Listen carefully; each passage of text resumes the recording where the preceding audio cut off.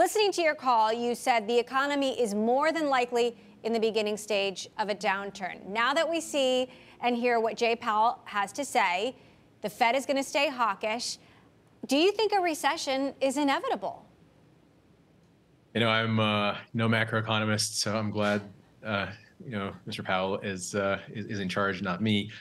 Um, I do think that uh, the need for buy now pay later goes up, both in a case of recession because folks are trying to make sure that their cash flow is impacted as little as possible, and in the inflation, which is where we are right now, the pocketbook is hit harder because everything is a little bit more expensive. So we are seeing more demand for the product, but because of the uncertainty in the macroeconomic events ahead, it seems very prudent to be very, very focused on credit outcomes, and that, that's reflected in our guide. Can you give us some color on what you're seeing in consumer spending habits? You know, obviously, uh, consumers are under pressure. Everything is more expensive, from gas to groceries. How is that uh, reflected in your data? So there's definitely the great rotation. We've talked about this before, but uh, the you know sometime mid-May, a tremendous number of goods were replaced with services. And I think it corresponds more than anything to this idea that we've all been cooped up for a long time because of the pandemic. But over the 4th of July weekend, we saw unbelievable growth in travel. Um, you know, experiences, tickets, all the sort of standard things that you would expect people sort of jump back onto after COVID, they're, they're all still doing really, really well. And that demand is very, very strong there's definitely real weakness relative to last year and even the year before in things like homewares, um, in uh, quite a lot of other things that just were we pre-purchased during the pandemic, if you will. Now, our point of view is actually a little bit skewed because we're still growing really, really quickly. We saw, you know, over 300% growth in general merchandise, which is just the growth we're seeing within our partners like Walmart and Target and Amazon. You know, folks are buying commodities because that you know that's something that you buy all the time anyway. And so we're seeing extraordinary growth within the merchants that we have. But I think very broadly, e-commerce grew only seven percent last year, which is probably the lowest number in a very long time. For comparison, Affirm grew 11-fold that much, but uh, perhaps in a better year would have grown even faster. So we're seeing uh, credit, uh, Americans' credit, at you know highs not seen since the financial crisis. I'm wondering if the economy is in a more difficult position and consumers are under pressure. Does that mean more business for buy now, pay later and Affirm? But is that not good for the economy? You know, it's a careful balance. Um, it is definitely good for us so long as we're good at our job, which is managing risk and underwriting, and we are. We, we are very confident in our ability, and our latest numbers prove that pretty decisively. So, you know, I think that that's we, we continue to deliver on that promise. Um, obviously, overextending the consumer is a terrible idea. Nothing stings more than looking at something you purchased and realizing that you can't pay it off over time. And so, we are very careful not to extend credit where we think the consumer will not be able to carry the burden. Um, it does help that we don't charge late fees, we don't have compounding interest, all the things that we built into the product from the very beginning to fully align ourselves with our end consumer help us be motivated to make the right decisions. And so we feel good about our position, our ability to help consumers. Um, I think America will have to borrow more because the prices are going up, and we're here to do our part. But we're all also going to have to be careful with how we use credit. The delinquency rate rose more than 2% for the first time this year in July and August. Is that an alarming sign for you? I, think it was more like 1% about a year ago. And how are you addressing that beyond, beyond you know, changing or tightening the, the criteria for underwriting? A great question. Um, credit performance is generally very, very seasonal. So if you sort of look at the charts that we uh, put in our supplement as we file all of our filings, you'll see that it really is mimicking the patterns of annual performance going back to, for example, 2019. 2020 and 21 were just very, very weird years. On one hand, there was tons of buying. On the other hand, the government was literally handing out money to consumers. Delinquencies were repressed artificially, if you will.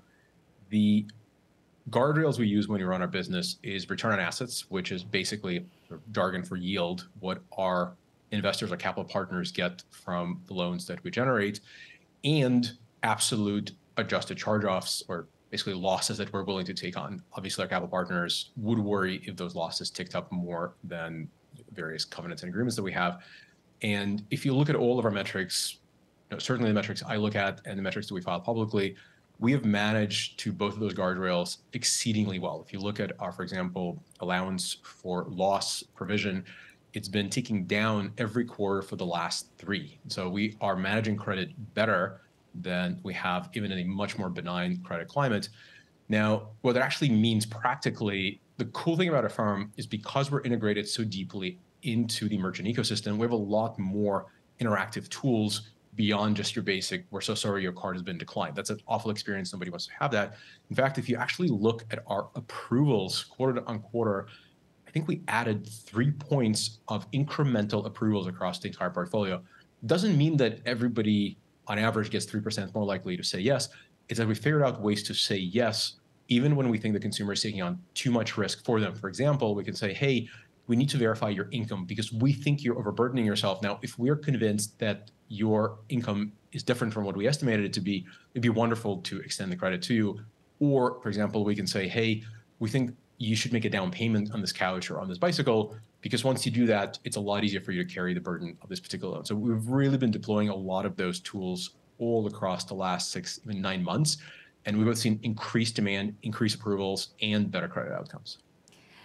You know, Affirm shares obviously had a pretty big downward move today. There is a broader market sell-off. Your CFO said you're approaching the next fiscal year prudently. I mean, what's your reaction to you know, the Affirm stock drop, the broader tech sell-off, and you know the possibility we're in for this kind of volatility for the foreseeable future? You know, I think I think, and I, I don't even have to try, I definitely think of Affirm in measures of years and quarters is not a it's an artificial marker that I think uh, we have met for ourselves it is far better to worry about how we'll do next year and the year after and a decade from now than what the stock price will do for us tomorrow afternoon. Certainly, in a day like today, I think we are a footnote to a footnote to a broader sell-off, thanks to the uh, the hawkish policy statements that we just heard. Um, that said, you know, I've never been more excited to show up to work as I am today. We have a ton of stuff to build. We bragged a lot about really amazing engagement metrics in Debit Plus, the card that we've been working on for so long. You know, if it, it's definitely, and it, you know, my heart goes out for our team and obviously the investors that look at the, the stock price always want to see it go up. I would encourage them to uh, look to the future. The product that we're building really makes a difference. We see so much positive consumer sentiment. We know what we're doing managing credit. We've done really well and we'll continue to do so. Over time, the market will catch up and the share price will do what it always does. I am very, very focused to leading the company to a long-term successful business of permanent value. So let's talk about the long term. On the call, you talked about the pursuit of growth, the possibility of buying up other players, given you know the, the you know the broader macro environment. Some of these other players may be struggling. We've seen some other players go through you know other BNPL players go through some pretty big layoffs. What are you looking at? What kind of companies are you looking at? And, and could we see you know a big deal or an acquisition spree? Um, definitely nothing to report today. Uh, I, I want to make sure that there's no no speculation in embedded in my answers here. Uh, but you're totally right. The thing, the way I think about sort of potential targets, and we're definitely looking quite actively now. We have shown to be really, really good at credit management, and obviously the economic reality is uncertain. We'll continue having both hands on the wheel. We'll continue tuning credits and approvals and all that. But we know what we're doing. We, have shown this to ourselves, and much more importantly, frankly, to our credit investors, capital markets partners, there are companies that have had amazing ideas. They've built great products. So the beginnings of something really wonderful, but they're just not good at underwriting. And you get better at it with scale and time. We've been at it for 11 years. We have a lot of data. We have a lot of experience. We know how to manage it. It would be great to find some of these ideas and teams. Really, the most important thing about any company is the people running it. And when you find these teams and they're missing that credit management muscle, or access to capital markets, which we've also built up over the years, it you know it, th- those kind of acquisitions are fantastic because you know you you love what they've built and you want to make it go faster and, and get bigger. And so that that is what we're looking for. The filter for me i, I learned I, I didn't invent this one. This was something one of my investors told me. You know is this asset better off owned by Affirm? And if the answer is yes you should look. And if the answer is i'm not sure stop looking now. So we, we apply that filter judiciously